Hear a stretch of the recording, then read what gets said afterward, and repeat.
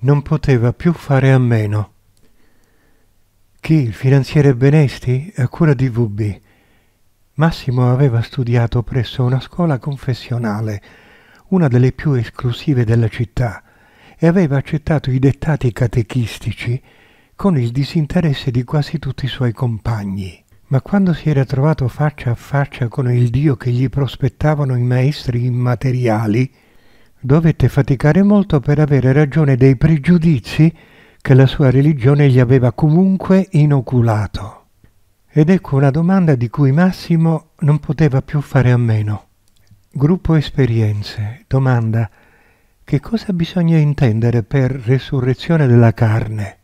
Guida, per resurrezione della carne l'uomo intende l'ascesa al cielo di tutto il corpo del Cristo.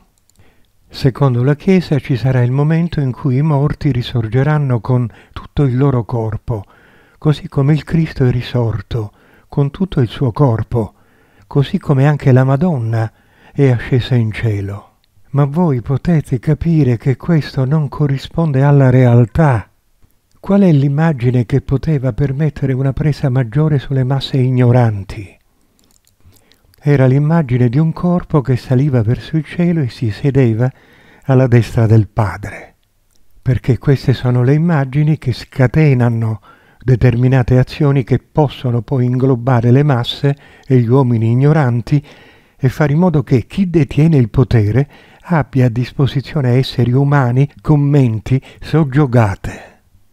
Questo è ciò che è stato fatto manipolare le menti di persone semplici, per voi ignoranti, da parte di chi aveva il potere. Domanda, nonostante questo io e mio marito continuiamo ad andare a messa, continuiamo a credere in Cristo e nel suo insegnamento. Guida, se per voi questa è una verità che va bene, è giusto che voi facciate questo cammino e viviate alcuni atti, ma dovete essere anche consapevoli che grandi errori sono stati fatti. Non è errato venerare il Cristo, attenzione, venerarlo come entità ma non come Dio.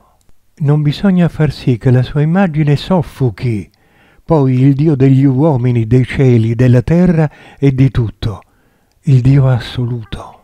Questo è l'errore che spesso si fa, venerare solo il Cristo Comprendete? Questo avviene perché la concezione dell'uomo non è quella di avere un Dio monolite, ma quella di un Dio che si riallaccia alla storia, in cui l'uomo venerava parecchi dei. E ancora non si è riusciti a trasformare questa sua visione della divinità, tant'è vero che anche voi avete la Madonna bianca, nera e i vari santi. Ecco quindi che adorate diversi dei. Ognuno di voi ha un santo cui si raccomanda, invece di parlare direttamente con Dio, con il Dio assoluto. Perché dovete avere l'intercessione di un santo se voi siete figli di Dio? Ogni figlio parla al padre direttamente, non chiama il fratello maggiore. E questo è l'errore che voi fate e che continuate a fare. Quindi non è sbagliato adorare o essere devoti dei vostri santi, ma non dovete far sì che essi diventino l'unico vostro appiglio prima di arrivare a Dio.